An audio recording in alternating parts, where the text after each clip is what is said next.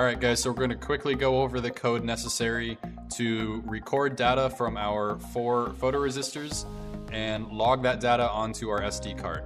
So we're going to include the library for a software serial and declare our RX and TX pins like we did before. And we're going to initialize a variable called logger, and that's basically going to be our open log with our SD card in it. In our void setup loop, like usual, we're going to begin serial communication and logger communication at our baud rate of 9600. Now, as we go to our main loop, we're going to initialize a series of variables of type double. Time is just a variable that says how much time has passed since we started the experiment, and that's going to be measured in milliseconds. These remaining eight values have to do with the individual photoresistors that we're taking measurements of. Photoresistor A, photoresistor B, C, and D. So to start out, you can see that we assign sensor value lowercase a to analog read of 1. Uh, these are the analog pins that we are connected to, number 1, 2, 3, and 4. And as you can see, we assign that to sensor value lowercase a, and then we assign sensor value uppercase a to the analog value and then times its conversion factor. So that's multiplied by 5 and then divided by 1023. Once we have those variables and once we've taken our timestamp, we're going to print that information to the SD card, and that's logger.print. So we're going to print the time in milliseconds, and then a comma, and then our four sensor values. And then we're going to have a short delay of 0.1 milliseconds in between. For debugging purposes, you can also print this information to the serial monitor, but when you're actually printing to the SD card, that's not necessary. Uh, you can comment this chunk of code out when you're actually running if you wish. So now let's go look at the MATLAB code. Alright guys, so I'm going to give a brief overview of the data processing section for this lab. This MATLAB code is relatively complex. It's very long, as you can probably tell. It's over 300 lines long. So even though the construction, the physical construction for this sun sensor is not too complex, we're only using four photoresistors, that means in turn that the processing is going to be much more difficult because we only have four, four photoresistors. So I'm just going to go over a pretty high level overview what each section of code does. Uh, there'll be a link to this MATLAB file in the video description so that you can take a look at it. Uh, you can change things around.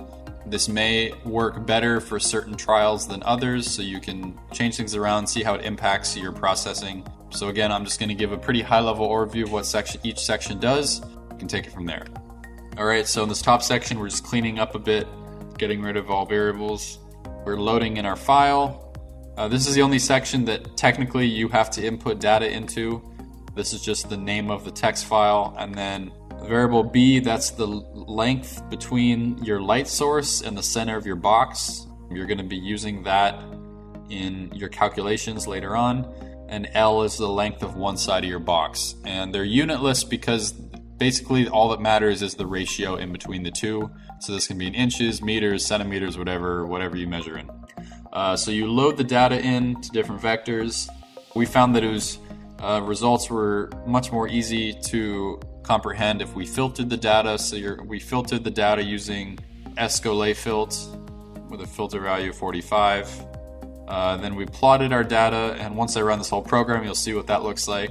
We also plotted the filter data. This is all just for visualizing your data. We're not actually using the, these two sections in our calculation. One of the first bigger chunks is finding the dominant side at every time in our data set.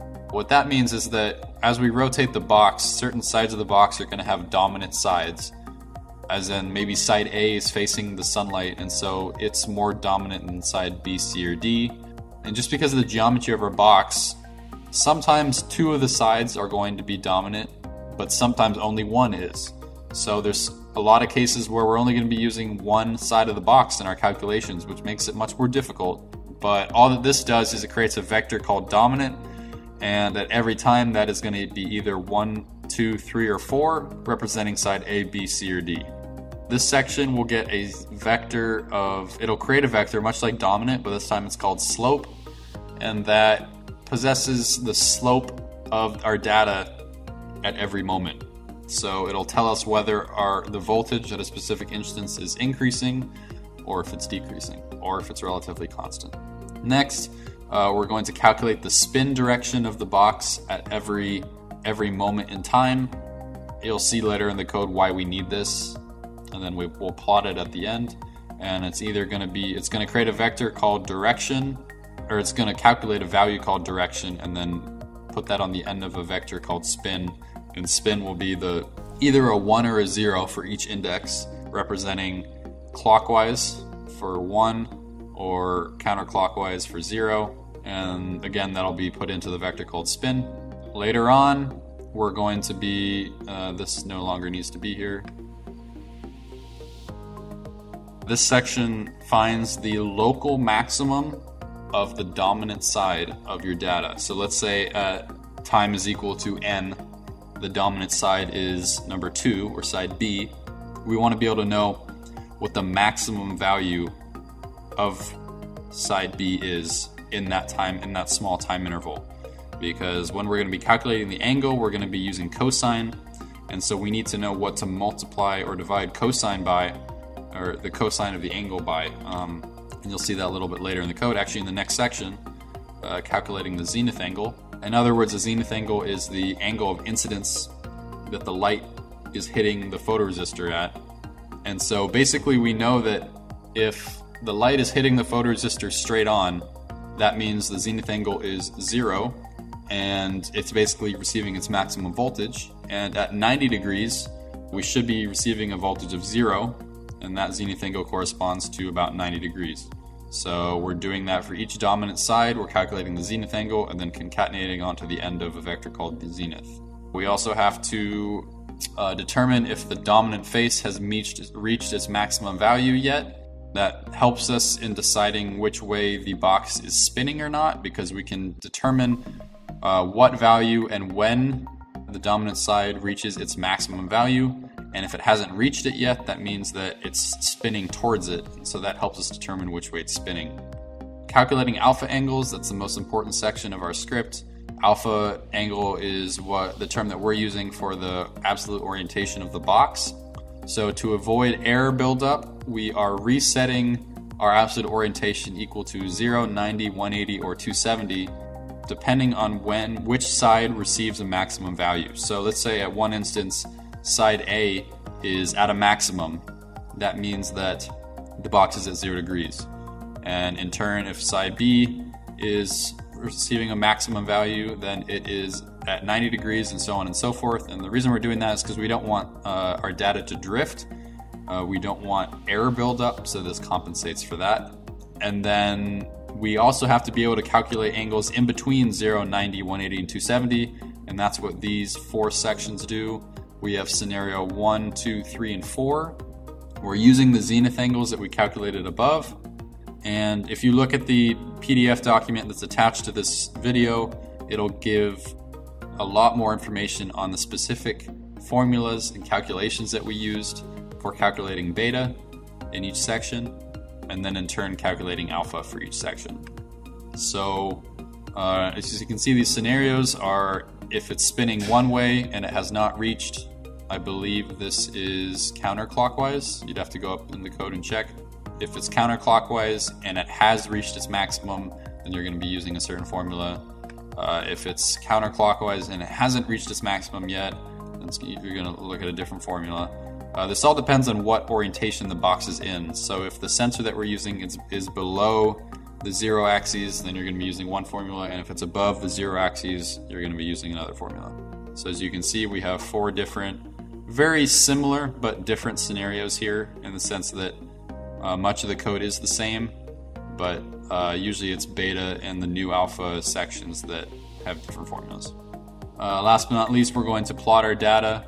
I'll just run the entire code and you can see what it looks like.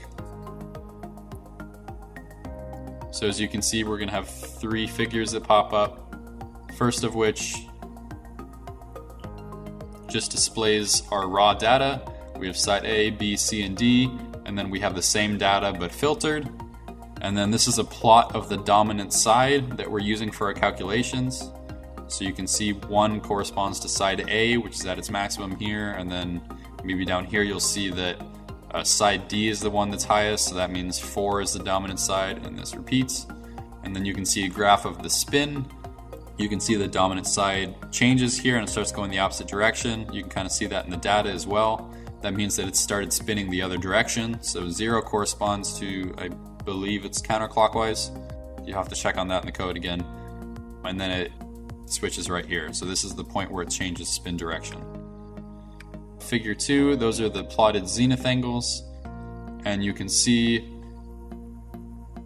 you can see that uh, these are the zenith angles for the dominant side whenever which side is dominant. You can see that the zenith angles begin to change once it's hit around 40 or 45 degrees and intuitively that makes sense because once a certain side be goes beyond that zenith angle typically another side starts becoming dominant and so the zenith angles will start decreasing again once another side has become dominant. Last but not least, you can see our box rotation values or our alpha values. And as you can see, we started close to zero and we started increasing. Uh, this is measured on a scale from zero to 360. We start increasing, and then as soon as we hit 360, it goes back down to zero and it starts increasing again. And this is where we hit our change in spin direction. We start going the opposite way. We go from zero to 360 and we decrease again. And then we just barely go back up to 360 again and go down a little bit. So as you can see, um, this is a delicate process. The processing is not perfect. This code will probably be undergoing refinements as time goes on, and we'll update that link in the video section. You can also play around with this on your own. Let us know if you develop a system that gives you more accurate results. Let us know in the comments, and thanks for watching.